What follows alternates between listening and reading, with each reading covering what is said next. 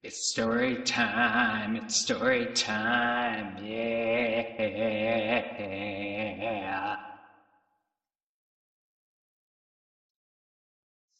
What's your favorite scary movie? Welcome back to Jesse's Storytime Spectacular. I'm Jesse. You know I love y'all. So just wanted to say what's up. Chillin'. Ghostface t-shirt. Let's do this. Alright, Scream 6 with the numer numeral. Alright.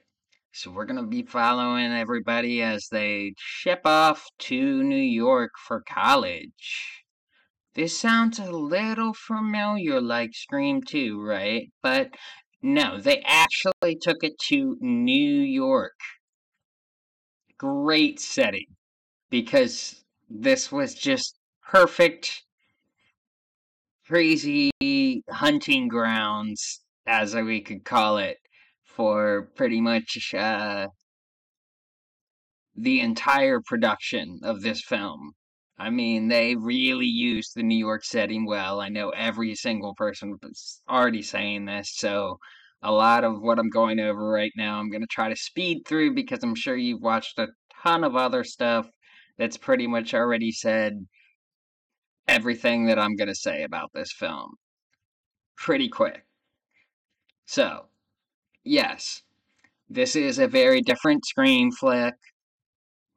You know, no real formula like before, except sort of like before. They kind of were trying to do that switcheroo with ya, and it's fun. Uh, have no complaints. Only a few, but you know, those are just minor. I mean, this was a very solid nine here. Nine out of ten. I, I don't give that to a lot of flicks. Not much at all. Uh, but this was impressive, and I'm I'm sure a lot of people could say that before, but this one really took the Scream sequels to a high high level. I mean, very very high level. We uh, we're talking all the brutality, everything, all the creative kills, uh, pretty much constant swapping up who you think the killer could be. Uh, all these different theories going on already within the film between all the different groups of people all the wonderful characters, which I'm about to get into. That's my favorite part. Is just the characters make this film. You guys, uh, I mean, you know, you're not going to get Sidney. She's. They even explain it right off the bat. I'm sorry, I'm going to spoil it, but the girl is just getting some damn peace with her family, which she deserves. So let's give it to Neve Campbell on this one. You're making the right move with all the bullshit you had to deal with, too. And you played it well. You did what you needed to do and you stood up for yourself. I'm proud of you, girl. Now, the movie itself. Wow. I mean, just walking out of that theater, everybody, I, I had, uh, I mean, maybe 18 people in that theater. And when I walked outside, uh, there were s- still maybe 10 of them all outside strangers talking. I mean, they were not sitting together, they were not talking together during the film, they were not associated, they were all different age groups. Everybody, that's what I loved about this. It brought people together. Yes, a slasher flick. Bringing people together. No, no Santa Claus, no holiday, whatever, whatever, mm-hmm. whatever. This was a Scream flick that everybody wanted a who done it that would be weird, different, and not of the same run of the mill Scream film. So that's what we got. And I'm so happy that we got that. Just something different. Uh, the only part was yes, I'm in the same field where the reveals, even though it plays with my fanboy love of the films and that it's giving a little tribute with the whole family thing, you know, yeah, sorry, but this is a spoiler review, so fuck y'all. Alright? You've seen enough spoiler free reviews, but they just say next to nothing in them. So this has just become a spoiler review anyway. Screw you guys. Sorry. Anyway. So. Our new cast of characters is like, I want to say Anika. Um, what was that other chick's name? Uh, Quinn, which is their roommate. Uh, we've got, uh, I think, Dylan. Uh, he's the nerdy Jack Champion dude. Uh, I mean, he does a great job in that role, but he, I mean, just whole time I'm just annoyed at this guy. He's just so annoying. But they use that, so take it as you will. But the best was uh, just the best of this film was all about the core four, which they called it, of course. Which I loved the little nerdy thing and Chad bringing it all up and him bringing everybody kind of together a little bit. I, I really enjoyed that. I think uh, we got to see a lot of personality come out of Chad in this film. Um, even though everybody is obviously dealing with their own traumas in this film while everything is happening anyway, which is probably why nobody demanded like police protection constantly or anything convenient like that that you probably should have obviously been doing, but the cop was supposed to be suspicious even though he was my favorite of the killers. I'm sorry. Quinn, you were great. Out of those three killers, they even though there were five killers in this film. I'll touch on that in a bit. But out of the actual reveal and the two killers that were dead, whatever. But the dad, Dylan, whatever his name is, McDermott or whatever. Uh, I think it was Detective Riley. Ow. I think they were paying due to the, uh, you know, Dewey reference, but they kind of, I don't know, something else like that. But uh, Detective Bailey, I think, yeah, yeah. But they were trying to play off of that, I think, you know, doing the whole, you know, Dewey reference stuff. But anyway, he was a silver fox and I'm loving it. The whole time I'm just like, dude, just take your clothes off, please. Oh my god. Just do me the favor. Send me the nudes. Please. I mean, I want to see like the underwear ad of this guy right now. Come on. but of course they gotta give me somebody in the Scream film that of course I can't sleep with, so you know. Maybe one day.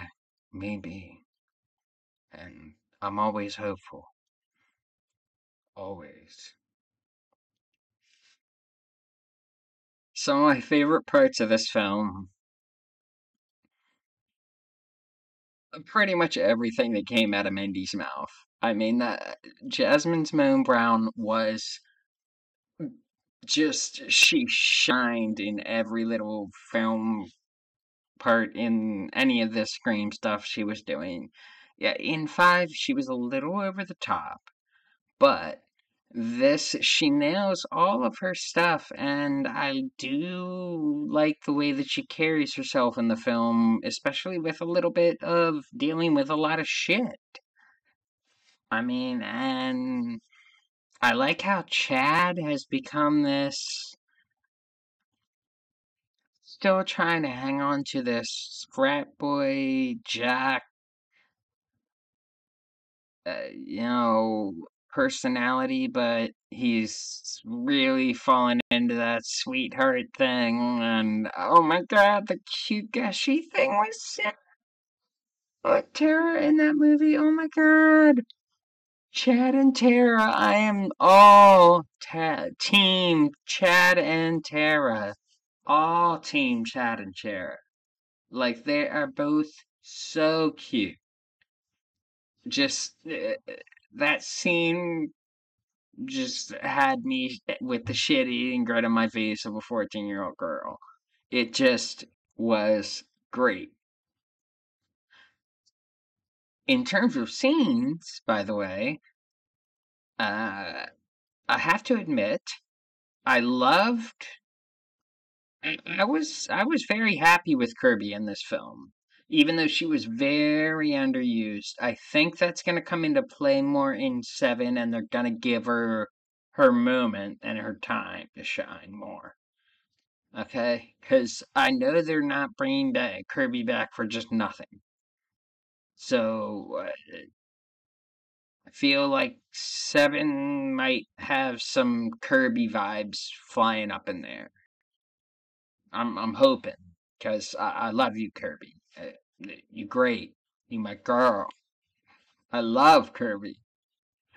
She's the best. She's the, her spunk, her attitude, uh,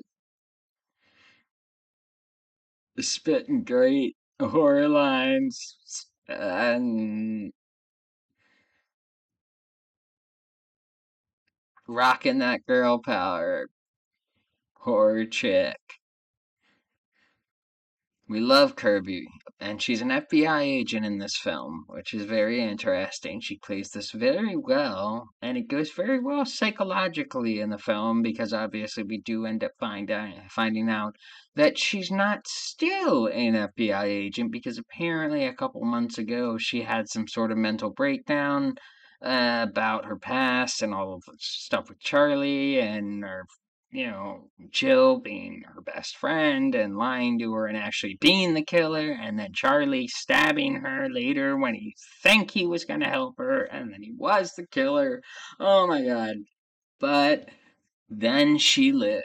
If she even got to describe it, she got to say something about how I think she said she lived she died for about six minutes or something, and then she was, you know, resuscitated, and the EMTs got her, and she made it. But uh, I'm just so happy to see Kirby back. I, even though she was underused in this film,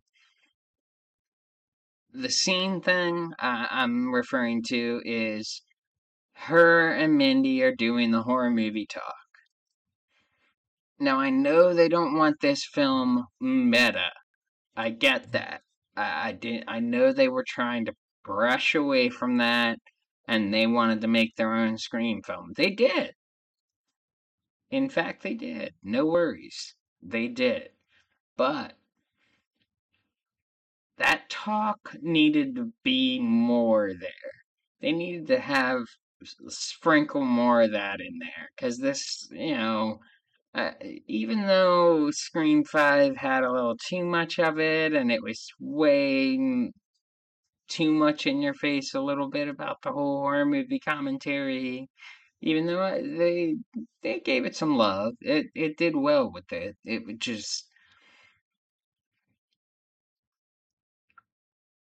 there were parts where it was just too overbearing into the script. But still, I loved it. Just because I'm a Scream super fan and I, you know, I'd go on for days. But uh, the New York shit was so much fun. I actually am regretting that I did not go to see it in 3D. So I'm thinking in the next couple days, I think I might go do that tomorrow. Anybody want to go see it? Hit me up, comment, say something. We'll go grab some tickets, get some food. We'll see some Scream. Oh my god. Yes, it was so good though. Uh, it was fun. I just didn't like all of the kill reveals. I felt like even when they did the reveals, it didn't feel like it was already, you know, uh, you already had figured out most of it anyway. But they had to do it. They had to make it feel dramatic. I got it. It's cool. But they also just should have given us a, like a you know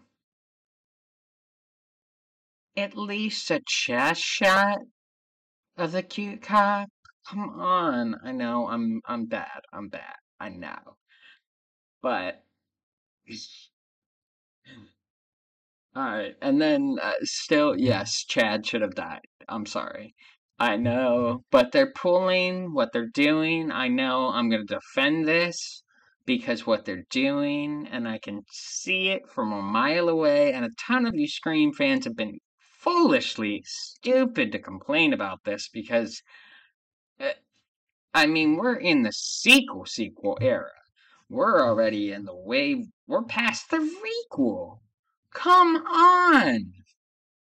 if you die, you don't really die. They can always write you back in somehow. Time travel, anything these days, it's got it like, I don't know. It's just, it's gotten weird. So they'll come up with something. Alright? Even though he just got stabbed a million times, just like Dewey in the past.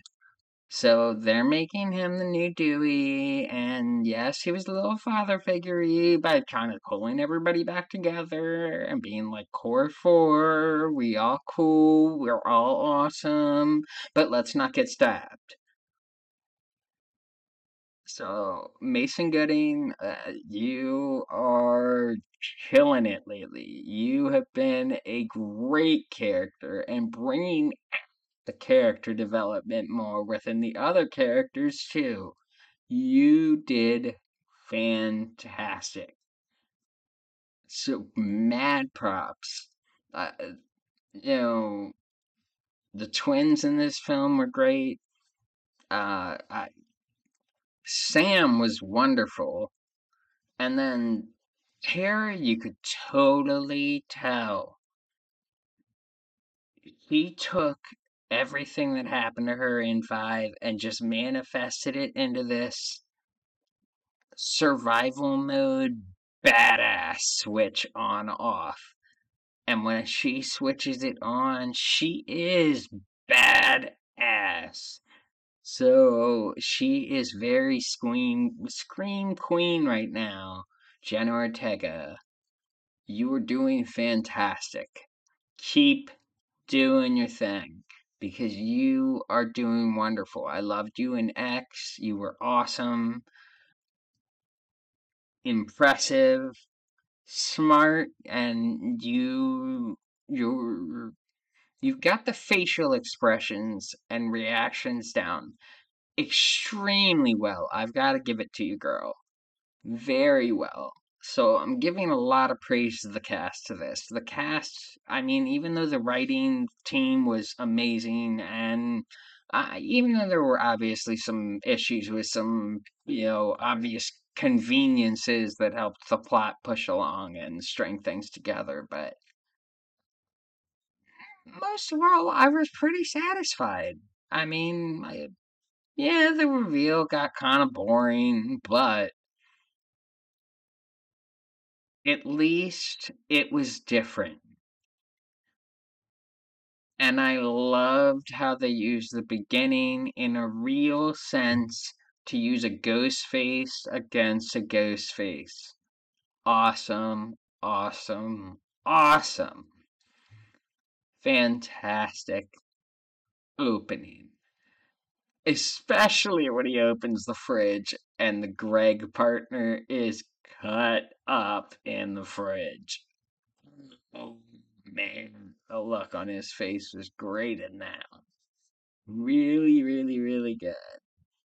But um, man, I could go on and on, but I'm telling you, I'm gonna leave up a whole lot of the fan pictures and stuff that I found here at the end of this movie. This little film I'm making here, because you know, it's always got to be like my original Scream film or something. I've always got to have a slash and gash motive, because I'm Ghostface. Loving it, and at this point, we're in for Scream 7 coming. So,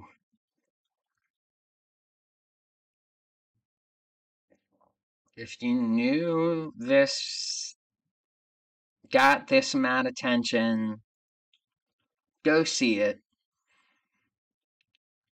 Somehow get a rental, whatever, just see the film. It's really, really fun enjoy some of this marketing stuff I'm going to leave up here because it was just fun to find a whole bunch of these photos and some of it was fan art, I think. So uh, kind of interesting just how they did that. But uh, much love to you. This is Jesse from Jesse's Storytime Spectacular. I love y'all out there. But I'm going to check out here because I have a feeling we're going to be revisiting Scream 6 pretty soon. Definitely. But I need to see it in 3D. You guys need to see it. Just go see it. And then tell me what you thought in the comments. I beg of you, because I'm dying to talk about the film with everybody else, hear their opinions, their what they think is going to happen on all the survivors and everything. I want to know you what you thought. Just so we can blab. Come on. Let's do this. Scream 6 was awesome. And yes, Dean Renner, I love you, homie. But this was a good flick. Sorry. Ah. Alright, guys. Love y'all. I'm out. Ski.